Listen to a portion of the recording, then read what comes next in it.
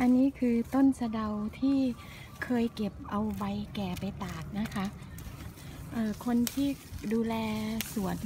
หย่อมตรงนี้ค่ะเขาวันนั้นครั้งก่อนก่อนมาเจอเขาเขาบอก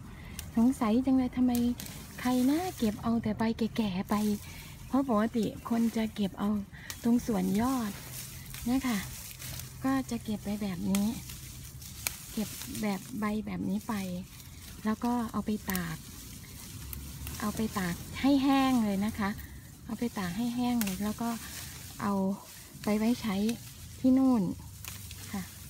แต่วันนี้จะเก็บไปไม่มาก เพราะว่ามันหนักแล้วค่ะ มันหนักแล้วแล้วมันไม่มีที่พอพอที่จะตาก ไม่มีพอที่พอที่จะตาก เพราะว่าครั้งนี้พักที่บ้านลูกสาว ซึ่ง มีที่ว่างไม่มาก คือที่ตากนะคะ ที่ตากตรงหลังบ้านน่ะมันมีที่กว้างเยอะ แต่ว่าภาชนะที่จะใส่ตากน่ะ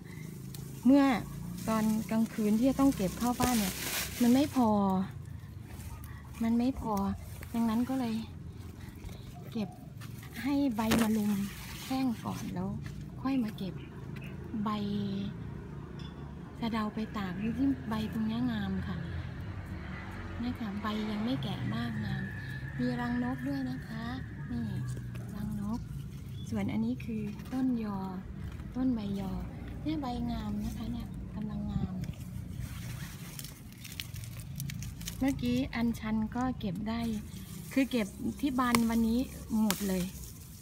แล้วเดี๋ยววันพรุ่งนี้มาเก็บอีกค่ะ อันชันนี้ยัง แห้งไวแต่ก็ตากยากนะคะ เพราะว่าเขาจะทับกัน พอแห้งแล้วใบใบจะติดกันเนี่ยค่ะ เก็บไปแบบเนี้ย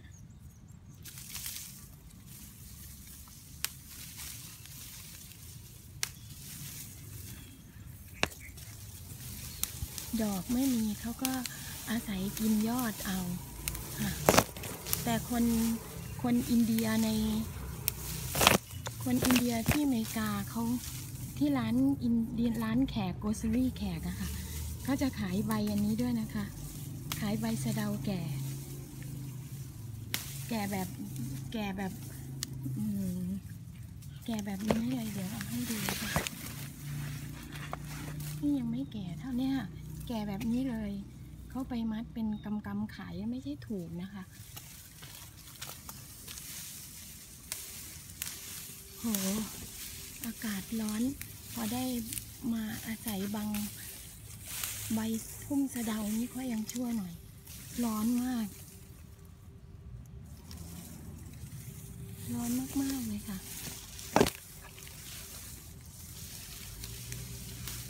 นี่ค่ะ เก็บได้สองสองกรัมกระดะใบสะเดานี่ก็ตากง่าย แห้งไว ตากง่ายค่ะ อันชันนี้แห้งช้านี่มีอีกต้นหนึ่งนะคะนี่ต้นนี่ค่ะนี่อีกต้นหนึ่งอันนี้ใบใบแก่อันนี้นี่ค่ะรู้สึกใบเขาจะแก่